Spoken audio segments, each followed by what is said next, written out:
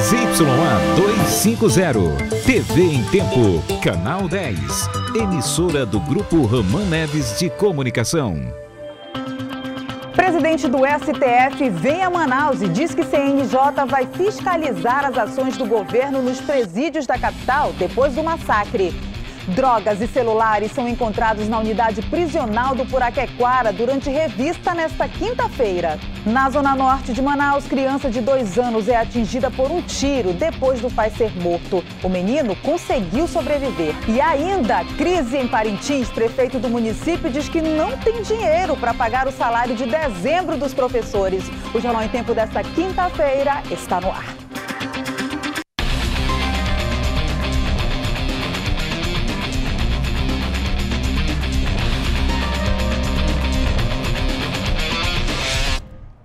Olá, boa noite. A presidente do STF, ministra Carmen Lúcia, esteve hoje aqui em Manaus. Ela reuniu por mais de duas horas com os presidentes e representantes dos tribunais de justiça do norte do país e anunciou que o CNJ vai acompanhar de perto as medidas que o Amazonas vai adotar depois do massacre. Os peritos que trabalham na identificação dos mortos protestaram hoje em frente ao Tribunal de Justiça do Amazonas. Eles denunciam a falta de estrutura no Instituto Médico Legal de Manaus. Nós estamos com dificuldade de juntar o quebra-cabeças. Nós precisamos de três laudos para concluir a liberação do corpo. Dependendo do arquivo odontológico, para a gente fazer análise da arcada dentária na identificação, nós precisaríamos ter esse laudo da odontologia, da odontologia. Nós precisamos do laudo do DNA, por causa que os corpos estão esquartejados ou decapitados, e o exame de papiloscopia, que nós precisamos dos prontuários do Instituto de Identificação. Dentro do prédio, a ministra Carmen Lúcia se reuniu com presidentes e representantes dos tribunais de justiça de oito estados. O presidente do TJ do Amazonas diz que os juízes são ameaçados pelas facções criminosas que agem no estado. Pelo menos 12 foram jurados de morte. Fomos surpreendidos com, com o que ocorreu no, no presídio e esperamos não ser surpreendidos com a confirmação das ameaças aos juízes. Por isso, os juízes vão continuar é, protegidos com a segurança já estabelecida anteriormente. Carmen Lúcia informou que o Conselho Nacional de Justiça vai criar um grupo especial para fiscalizar e acompanhar as ações anunciadas pelo governo do Amazonas depois do massacre nos presídios. Ela não deu entrevista e, por questões de segurança, não visitou nenhum presídio. Nós temos que acabar com os presos provisórios, nós temos que executar a pena. Agora, as condições de presídios, a situação dos presídios, os próprios presídios, a segurança dos presídios é função do Poder Executivo, não é função do Poder Judiciário. Nesta quinta-feira, a Polícia Militar fez uma revista no presídio do Puraquequara, na zona rural de Manaus é um dos presídios administrados pela Humanizare. A empresa faz parte do consórcio PAMAS, que administra o sistema penitenciário no estado e é alvo de investigação do Ministério Público de Contas. O Ministério Público de Contas diz que as empresas receberam valores muito altos e que há suspeitas de que essas quantias não foram aplicadas na infraestrutura dos presídios e que elas fizeram doações para campanhas nas eleições do ano passado. Além disso, o valor que o governo do estado repassa à Humanizare por cada preso está acima da média no país, segundo os procuradores. Cada preso mensalmente está na casa de R$ 4.700. E esse é um preço manifestamente superior, por exemplo, ao que se paga em São Paulo. A média nacional, R$ 2.500.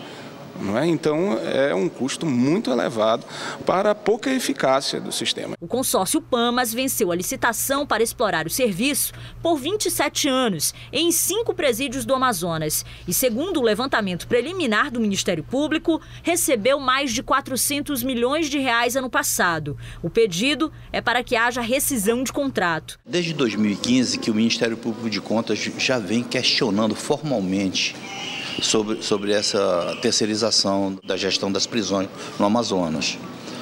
Fizemos em 2015 uma representação, uma, uma recomendação formal mas vemos, não, não, vimos resultado. As investigações sobre os massacres estão em andamento. Dos 60 mortos, 11 ainda aguardam identificação. Em nota, a empresa Humanizar informou que segue as práticas de governança do mercado e que as unidades prisionais são geridas em regime de cogestão com o Estado. Além disso, disse que executa, além do previsto em lei, uma série de programas e projetos que visam a reeducação e a ressocialização dos internos. Sobre os valores dos contratos, disse que os valores praticados são aplicados com base nas atribuições previstas em contratos. No Instituto Médico Legal do Amazonas, familiares de detentos permanecem à espera da liberação de corpos. Nos últimos quatro dias, a rotina de Dona Ira Maia mudou. Ela ainda não sabe se o filho está vivo. A cabeleireira parou de trabalhar todos esses dias porque o destino dela tem sido o IML e o Compage. Deixei de fazer muita coisa, né? Porque a gente trabalha e depende do nosso trabalho, né? Então, estamos parada e fica uma situação muito ruim, gastando para cá e para ali sem ter Aí fica muito difícil para nós. Este homem, que preferiu não se identificar, já reconheceu o corpo do irmão dele e só espera a liberação. Assim como os outros familiares, a rotina dele de trabalho também é diferente. Está sendo triste e a gente também não consegue trabalhar, né? A semana toda parado, sem trabalhar. Parou a rotina e fica só, só o que eles falam é para a gente ir para casa, aguardar, que eles vão ligar. O movimento no IML já é mais tranquilo. Dos 60 corpos, 49 já foram identificados e 18 liberados, inclusive os quatro que morreram na unidade prisional do Puraquequara. Todos os trabalhos de necrópsia já foram feitos, agora só falta mesmo a identificação de mais 11 cadáveres. Essa identificação está sendo processada agora através da, da, da, das impressões digitais, com o exame papiloscópico e através do exame de DNA. São poucas as famílias que ficam aqui em frente. Os outros 14 corpos eram de detentos do Compage, onde 56 presos foram assassinados. E a previsão é de que mais 10 corpos sejam liberados até amanhã.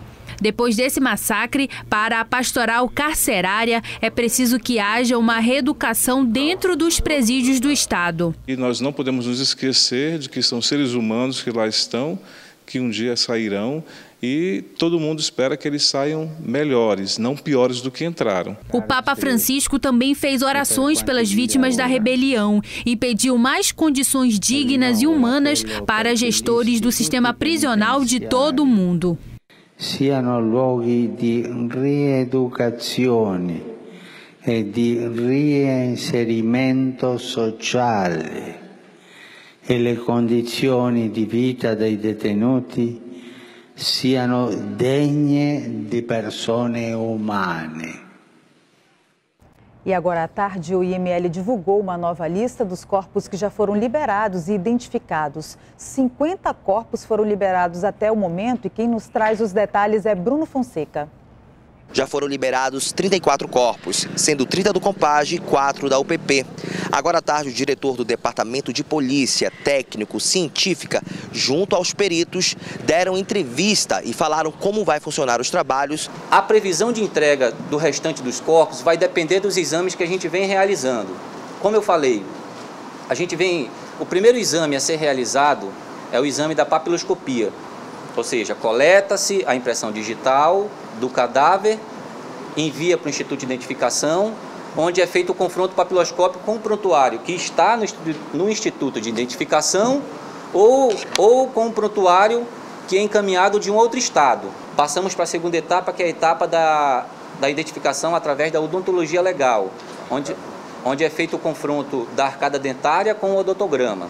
E a terceira etapa, que é a etapa, vamos dizer assim, um pouco mais dispendiosa para o Estado, que demanda um tempo bem maior, é a etapa do DNA, que com sucesso a gente vem entregando aqui, juntamente com a papiloscopia e a odontologia legal, a gente vem entregando é, as, a, as identificações dos corpos para a família.